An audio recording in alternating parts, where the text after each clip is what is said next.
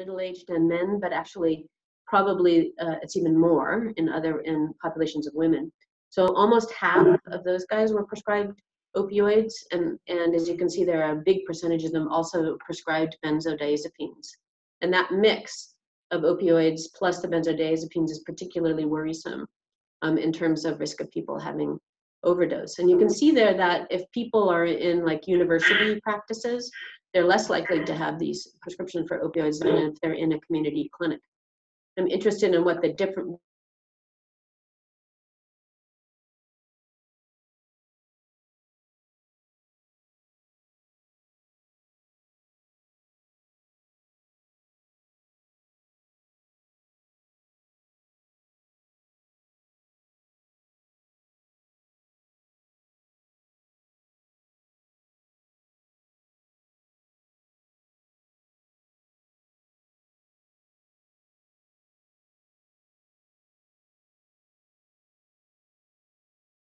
uh, in chronic pain. Um, but and we now we have people in our practices. I said in my case, a bunch of them are people I started on those opioids, and others have come to me on those regimens. And we're in the middle of what is probably maybe the biggest sudden reversal in practice um, that uh, any of us can remember. Uh, going from uh, it's okay to prescribe uh, chronic opioids to now um, you know, very, very heavy kind of sanctions and a lot of scrutiny on this. Um, so I think our struggle, our um, challenge uh, as as clinicians and partnering with the people we take care of is how to get to a place where we're prescribing more safely, using for sure using less of opioids than we have, but without you know turning so fast that we throw our patients overboard um, and leave them alone struggling with what to do with their pain because the pain is real the pain is real and um, the struggle to get from a place of of uh, that you know that my two patients I described to you there um, to a place where they're actually comfortable and able to live their lives. It's a hard hard struggle. So next one. Now, need to acknowledge that it's not all about buprenorphine, and I want to say that, and then we're going to spend the rest of the time talking about buprenorphine. But um, there's a lot of things. This is a short list, actually, of the things that we need to kind of work with people around um, um, to uh, that all make a big difference in terms of basically people need to have a life that they can invest in um, aside from pain, um, so that um, uh, so that they're they're um, coping. There's something to cope for. and all of these are things that our, our clinics need to be really good at figuring out how to address these issues for people. Um, I think the meaningful so, um, social connections is something that we don't talk to people enough about. Who are your friends? What are you doing? Who's your family? How are you connected? And then the somatic engagement. There's something about, doesn't even matter what it is, what tradition it is, but something about exercise um, and learning to cope with some pain uh, related, but the good kind of pain that happens when you stretch and use your muscles. Those are all things that really make a big difference in uh, people managing their pain. So now moving on to what about buprenorphine? So um, there's been interest in using buprenorphine, especially for addiction, people who are struggling with opioid addictions um, in clinic. But it, we also know that buprenorphine is a good medicine for pain. It's much safer than the other opioids, and it is um, you can mix it with the with the agonist opioids um, for acute pain. It is not something that is easily abused. There are a lot of good reasons to use buprenorphine for pain too, and yet, even in HIV clinics where we see a lot of pain, we're not using as much of it as we would anticipate. Next, next slide, Nishi. Sorry, next slide, Kamisha. Good. So I just was going to suggest here, here are five things that I think are frequent challenges to people using buprenorphine in their clinic. And I want to talk through them for a second, and I'm going to ask you all to vote on which one you think is the biggest one um, in the biggest one in your clinic. So the first one being that patients, that people are scared to switch off their opioids. They're scared that they're not going to get good pain control. And they don't really necessarily know about what this buprenorphine is. Buprenorphine is. The, um, also, prescribers aren't necessarily comfortable using buprenorphine. Um, I think that the fact that they need a special kind of license, the fact that it's used both for pain and addiction, um, all those kinds of things confuse people, I think. Um, that that um, we need to be careful about starting buprenorphine so that uh, getting getting people induced on buprenorphine, which can be a, in some cases, a several day process, is hard in a clinic. And then, um, in my experience, there are some groups, some staff, uh, some uh, in my hospital, for instance, there are a number of physician managers and also uh, people's families who feel like buprenorphine is not a good treatment because it's just substituting one addiction for another. Um, each of these is something that could be part of why it's hard to get a buprenorphine program working in, in your setting. So let's go ahead to the next slide. Um, because we're having some challenges here, I'm going to ask you not to vote for, for your top three challenges, but let's just put in one. So on the next slide, you're going to have an opportunity to look. Uh, actually, I'm to I'm going to turn it over to Kamisha to explain to us how to do this poll next. Kamisha, can you? Sure. So, yep. So I'm going to share in the chat box the link to the polling. Once you click the link, it should open up to this. You'll see this screen. I'm sorry, you'll see um, options to vote. And once you vote, we'll be able to see it here, um, real time, what your options, selections are. So if you get the link, please click on the link. Um, it's in the chat box. You Once you click on it, you'll be sent to the, um, the voting options and we'll be able to see it.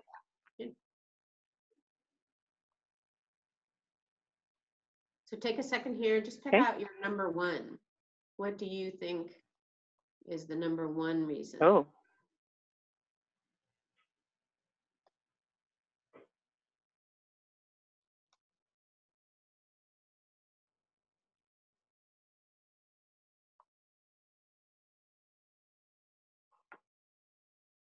Interesting.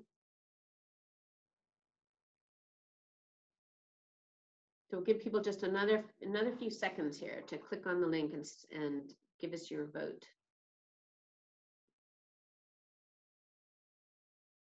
Very interesting. I thought more people would be worried about where to get inductions done, and I'm happy to see that that doesn't seem to be people, at least not people's number one problem.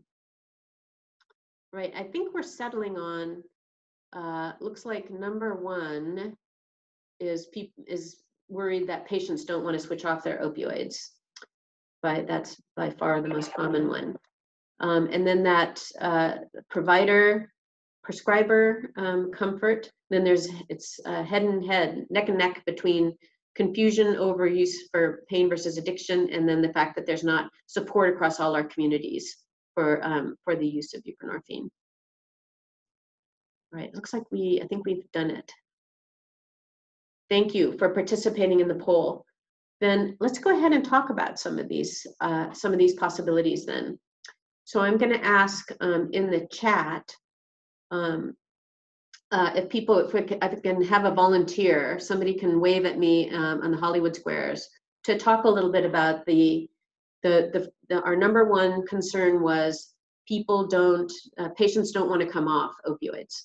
So somebody um, in the Hollywood Squares wave who's interested in sharing with us, what do you do about that? How do you approach talking to patients about um, why it might be worthwhile for them to consider that? And if your webcam is not on, go ahead and just take yourself off mute and um, you can go ahead and start speaking.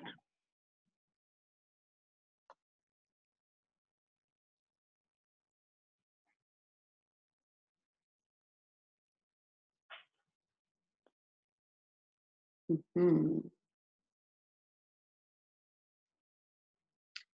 Valerie, um,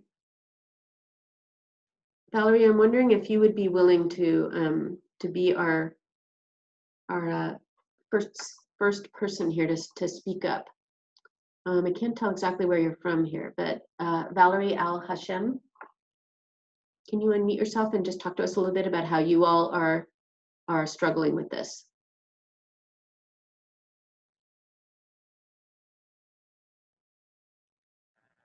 You may be muted on your phone.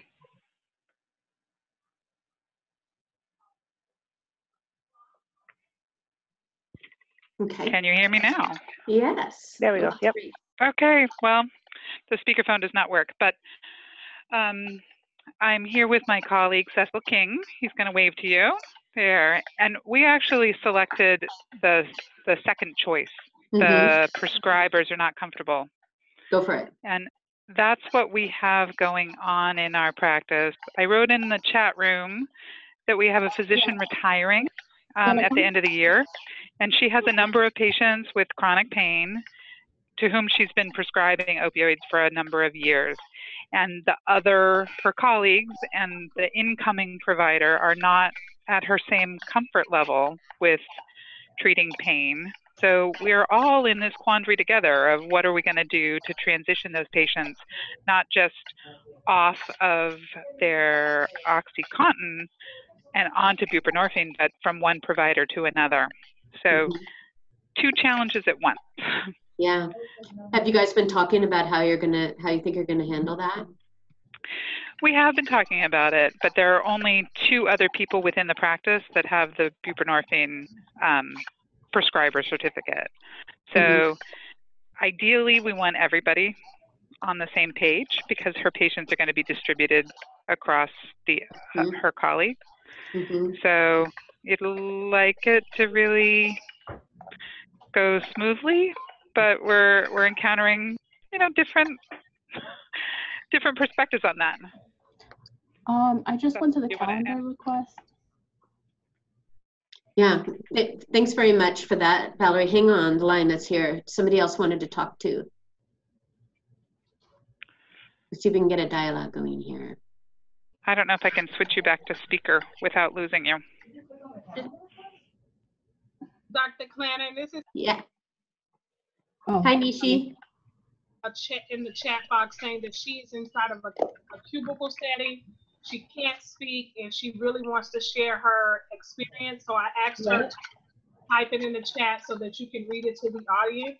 Yeah, I can see Stacy. Um, Stacy's saying that their clinic changed the policy with prescribing opioids, and they've contracted with a pain management clinic, and they treat the chronic pain issues. So I'm guessing, Valerie, that that's probably something that you guys have. One of the things that you prob- have probably thought about is uh, is um, linking up or getting help from a pain management specialist. Anybody else want to want to talk about what they voted for in terms of their challenge? Thank you very much, Valerie, by the way, and Stacy.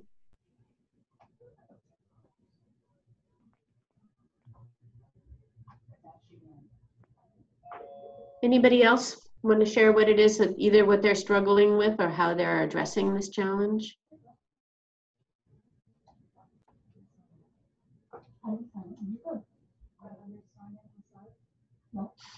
Is there anybody who feels like they have really got it got it under control or or really have uh, feel comfortable with how they're approaching it in their clinic? Really want to share a good strategy with us.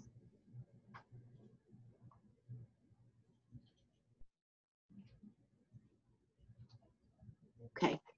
Well, I think that this is a really, really challenging issue. Um, let's go back to the slides, Kamisha. And just have a few kind of hints or um, really where my clinic is also in the middle of trying to uh, to deal with this problem. So there's um, in terms of thinking about how we can approach it, there are um, these le different levels of problem solving. There's how we approach patients about getting access to buprenorphine or pain treatments that are not buprenorphine. There's um, what we need to do to support providers. And then at the system level, kind of changing people's minds uh, and kind of trying to reduce the, um, the stigma that has to do with, um, with, you know, with pain and use of chronic opioids. So there's really all three um, different levels at which we might be able to engage and, and make some change happen. Next one.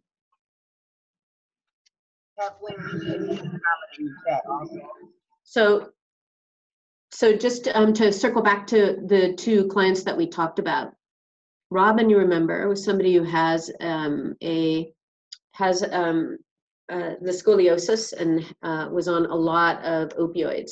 She actually was able, when I talked to her um, about this and told her that I was worried about what she was using, was pretty clear it was not working for her.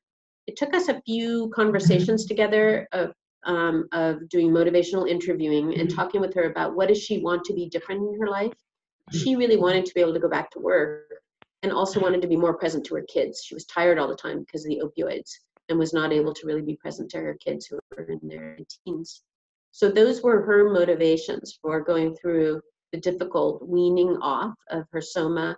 And then the switch from the oxy to the buprenorphine was actually fairly smooth with her. Um, she uh, has less pain now. She's doing regular physical therapy in chiro and has a lot less pain in her back um, and finds that the buprenorphine really controls that well. What she misses is the, um, she's having a harder time sleeping now, but she is much more active and feels she has less pain in her body.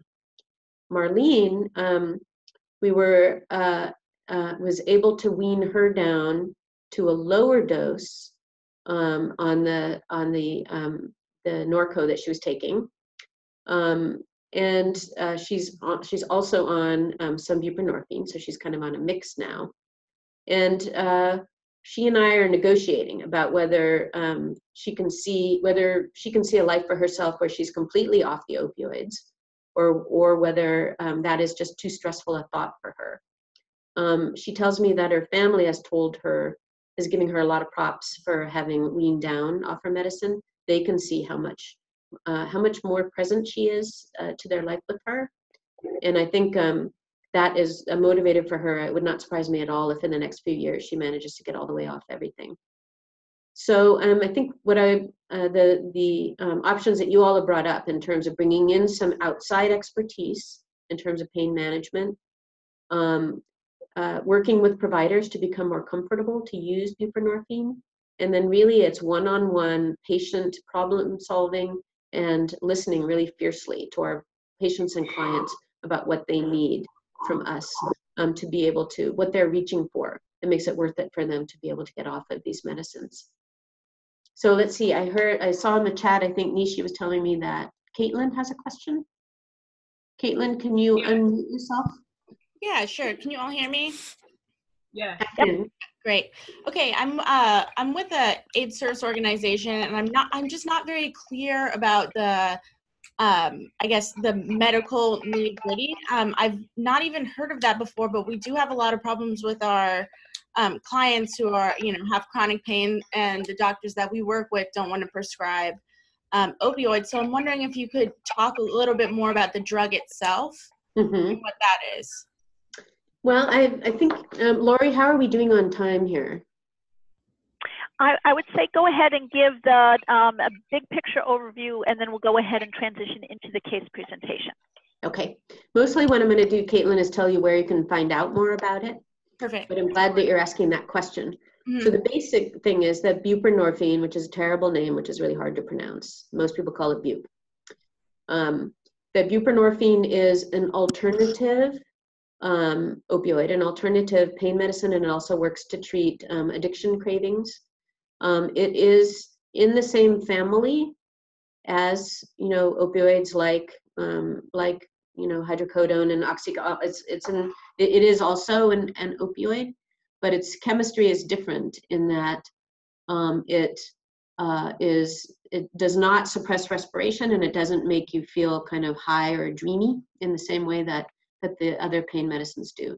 So um, it is essentially virtually impossible to overdose on, which is great. Um, and because it doesn't make people as high, it tends to be people don't abuse it as much. They don't overdose. They don't want to take more than they than they need. Um, so it's safer um, and is um, has a number of other advantages over the regular opioids. the One that I talk that we don't talk about a lot, but I talk to my patients about a lot, is that opioid pain medicines suppress your sex drive, whether you're a man or a woman. Um, they sus- they suppress your interest in that. And um, taking buprenorphine, actually, those hormones come roaring back, and that's another way that people kind of wake up after they switch over. So you will find a lot about buprenorphine if you search for something called MAT, the initials MAT. It stands for medication assisted therapy, and it means treatment of addiction with medicines. So it's I, the shortest way to say it is I think I would probably say that it's like a space age methadone. Okay, great. Perfect. Thank you. Wonderful. Thank you so much, Kathleen. And um, if there's any uh, any resources that we could go ahead and either put right into the chat room or we can post them afterwards in glass cubes, we'll make sure that we have that out to everybody so you can find a little bit more information about buprenorphine.